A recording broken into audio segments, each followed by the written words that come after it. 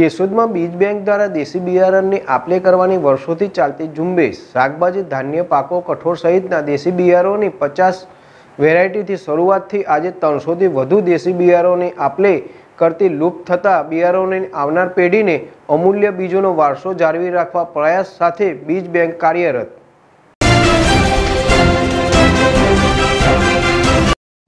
બીજ બેંકનું નામ સાંભળતા જ નવાઈ લાગે. આપણે રૂપિયા માટેની બેંક કે બ્લડ બેંકનું નામ અવારનવાર સાંભળીએ છીએ. પણ આજે આપણે વાત કરવી છે શાકભાજી, ધાન્ય, પાકો, કઠોળ સહિતના. દેશી બિયારણોની જેને બીજ બેંક ચલાવતા ભરતભાઈ નશીત, જે કેશોદ તાલુકાના ટીટોડી ગામના વતની છે. હાલ તેમના વ્યવસાય માટે કેશોદમાં રહે છે. સાથે પોતાના ઘરે બીજ બેંક કાર્યરત કરેલ છે.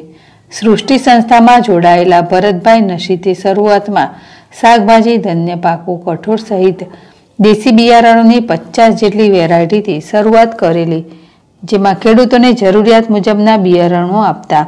જે બિયારણોમાંથી ખેડૂતો વાવેતર કરી ઉત્પાદન મેળવી જરૂરિયાત મુજબનું બિયારણ રાખી વધારાનું બિયારણ ભરતભાઈને પરત કરે છે, જેમાં ધીરે ધીરે બીજ સંગ્રહ વધતા જતા ભરતભાઈએ બીજ બેંક કાર્યરત કરી, જેમાં હાલમાં આશરે ત્રણસોથી પણ વધારે જાતના બિયારણોનો સંગ્રહ કર્યો છે, જે સંગ્રહમાંથી ખેડૂતો સાથે વિનામૂલ્યે બિયારણોની આપલે કરે છે. આ બીજ બેંકથી પ્રેરાઈને ભરતભાઈ નિશિતને અનેક સંસ્થાઓ દ્વારા પ્રમાણપત્ર, મેડલ, સીલ એવોર્ડ મળ્યા છે.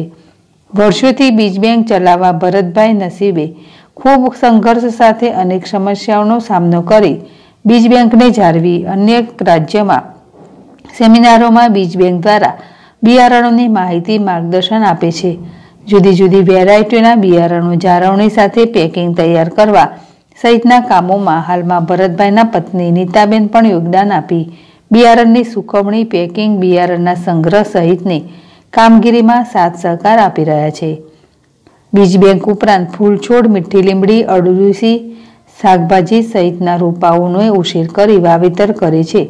જેમાં વધારાના રોપાનું વિનામૂલ્યે વિતરણ પણ કરે છે. ગોવિંદ હડિયા, જેડેશ ટીવી કેસુદ હસબન્ડની જોડે આ બીજની પ્રવૃત્તિમાં બીજની પ્રવૃત્તિમાં સામેલ છું.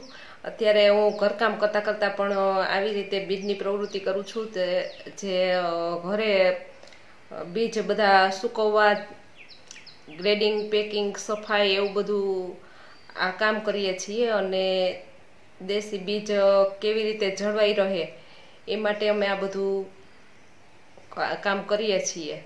અને પેકિંગ અમે અત્યારે ગમે ત્યાં બહારના અમારે વધારે ફોન હોય છે એટલે જે લોકો જે રીતે મગાવે એ રીતે અમે પેકિંગ કરીને